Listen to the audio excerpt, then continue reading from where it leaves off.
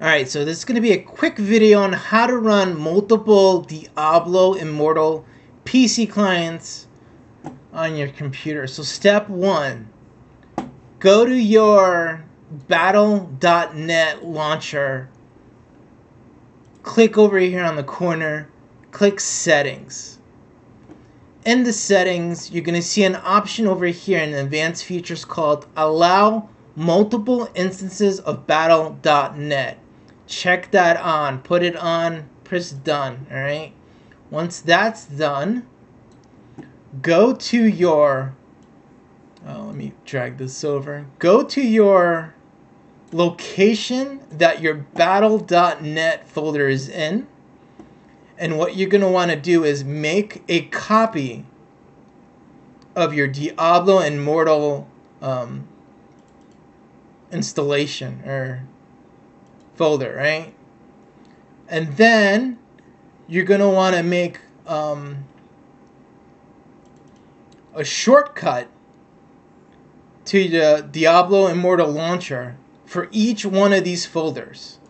So you'd go here, right click, make shortcut. So like send, uh, where is it? Uh,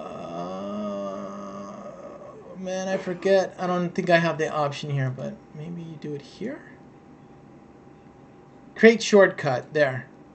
And then you put that on your desktop and like rename it and say this is client one, right? And then you do the same thing for this folder. Make the shortcut, put it on your desktop, rename it client two. And then when you click on that shortcut link, like I'm going to do right now. I'm clicking on it.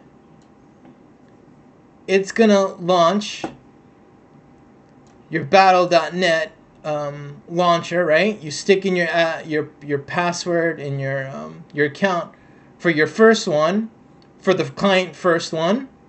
You log in and then you can launch that. And then to get the second one, you have to launch it from the second um, installation, and then you log in with another account. And then you can just repeat this over and over and get a bunch of accounts going at the same time if you want.